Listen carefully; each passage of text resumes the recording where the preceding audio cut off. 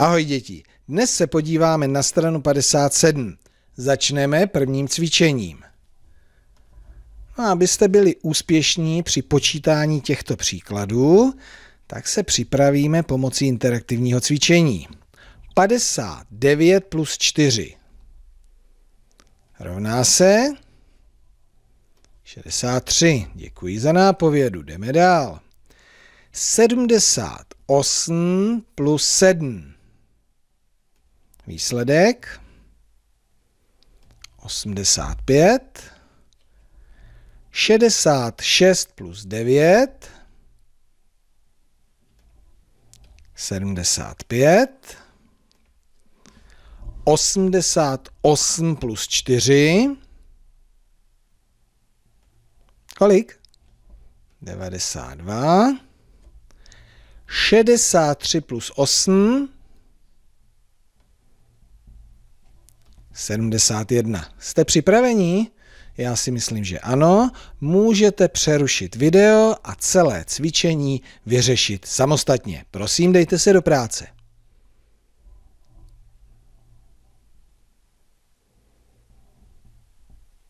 Děkuji. Tak jdeme na to řešení. Zmenšíme. Připomeneme si zadání. Počítej Řekni, jak spolu souvisejí příklady pod sebou. Tak, jak spolu souvisejí? Jednoduše. Vždy ten první příklad ve sloupečku byla pomoc pro výpočet těch dalších příkladů v tom jednotlivém sloupečku. Takže jdeme na výsledky. 13, 83, 93. Dobře. Druhý sloupeček. 12, 62, 72. Uhum. Třetí 16, 86, 96. Čtvrtý 12, 62, 72. A poslední 12, 82, 92.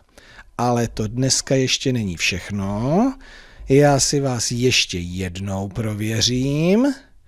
Tak, Tohle znáte, ano, počítejte tak rychle, abyste to vypočítali dřív, než se objeví výsledek.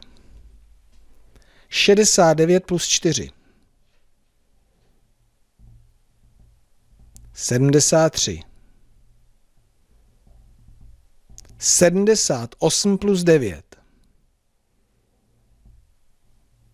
87. 86 plus 5. 91. 65 plus 7. 72. 77 plus 4. 81.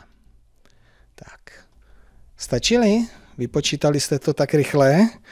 Pokud ano, tak je to už dobré. Pokud ne, nebo jste, se, nebo jste chybovali, je potřeba ještě nějaké příklady vypočítat.